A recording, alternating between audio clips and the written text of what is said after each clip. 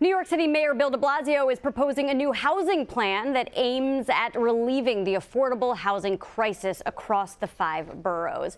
The de Blasio administration wants to provide low interest loans to help homeowners pay for construction to bring basement spaces up to standards of the city's safety and zoning code.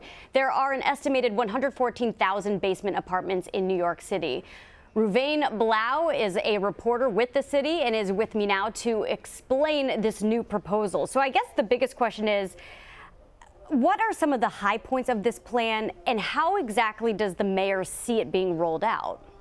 Well, there's uh, several components. One includes uh, actually giving loans to uh, homeowners who want to actually make these changes. And there's a $150 million pot that he wants to set aside in the budget for capital funding for homeowners who want to make these changes and are looking for help in construction costs.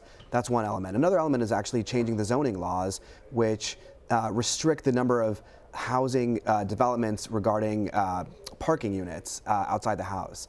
Uh, so they want to change that, ease that to allow more dwellings and uh, ease the parking restrictions that currently exist. So someone could convert a garage into an apartment and then where would they put their car? They would put it on the street because now those parking restrictions have been eased. Exactly. I mean, also, I mean, it's also just there's restrictions regarding how many parking spots have to exist when you add a dwelling into a house, and so they want to ease that as that's kind of the essential.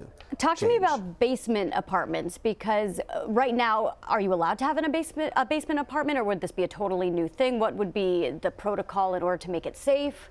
So you're currently allowed to have them, but there's you know there's specific restrictions regarding the roof, the, the ceiling, uh, the height. height, and uh, also uh, you have to have two exits and um, sprinkler systems. So the majority of basement apartments that exist currently just don't have that, and um, they're operating illegally. But it's New York City, and the rate, the vacancy rate is is super super low, and people are you know living where they can, and it's it's just been going on forever in this in the city. What has been the pushback from homeowners? So homeowners are uh, reluctant. There's a pilot program that was launched a couple years ago in East New York, and it's been really kind of slow to get off the ground.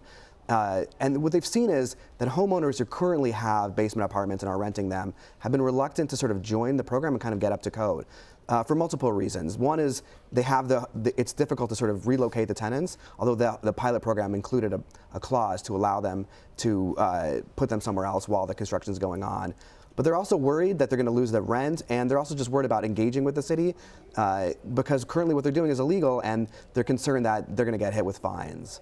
Okay, so this is concerns of tenants, you're saying?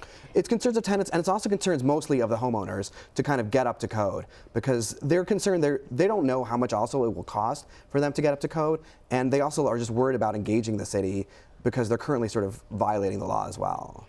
Okay, so uh, would there be when, when you're saying people might get kicked out because now they have to pay more, perhaps because now it's an official apartment, it's no longer something that's being done under the table. Is there a concern that this would be uh, displacing extremely low income people here in New York? Yeah, yeah. I mean, the concern more is that in order to get up to code, they're going to have to do construction. And while that happens, those people will be displaced. The concern isn't so much the cost related to the apartments. They're generally uh, relatively low, yeah, affordable units.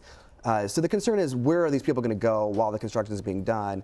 And absolutely, I mean, it's a, you know they they chose a, a neighborhood in, in, East New York, and people are concerned that you know that was a bad area to, to choose for a pilot program uh, for multiple reasons, including that you know that it was difficult to relocate people there.